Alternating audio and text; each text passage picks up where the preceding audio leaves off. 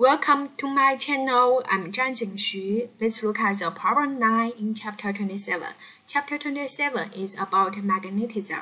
So there, we need to calculate magnetic force on a current carrying circular loop of wires. And this wire just some part is in magnetic field and some part is not. As we know, this magnetic force on current is acted by magnetic fields, right? So we just need to look at the wire from this point to there, there, there, there, and then to this part. Agree?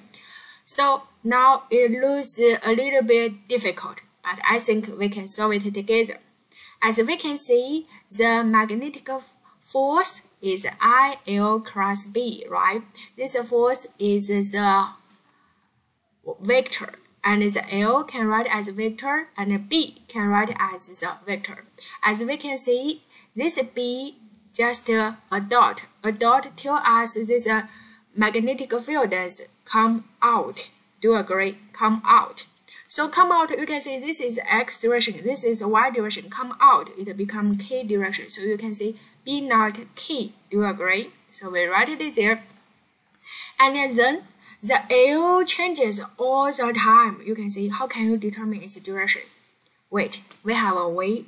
We can cut this while by infinity space, uh, infinity uh, samples, right?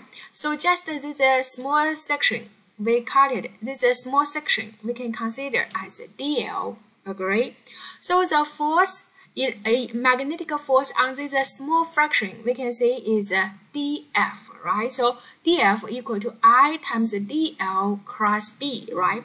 Now how can you decide the dl? One thing. So the arc length for this one is r times d theta. Agree? Because we can consider this is a d theta. So arc length is radius times angle. So r d theta.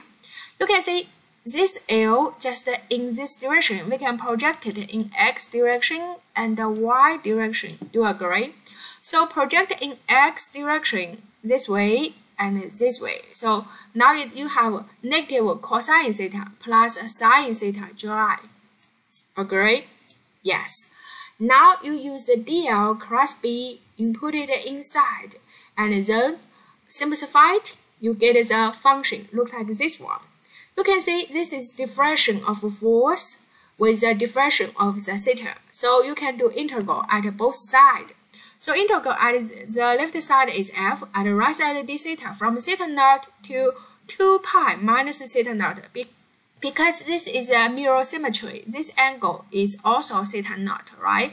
So when it read from there to there, at this boundary line, it is 2 pi minus theta naught. And then do the calculation get a final answer there. Thank you.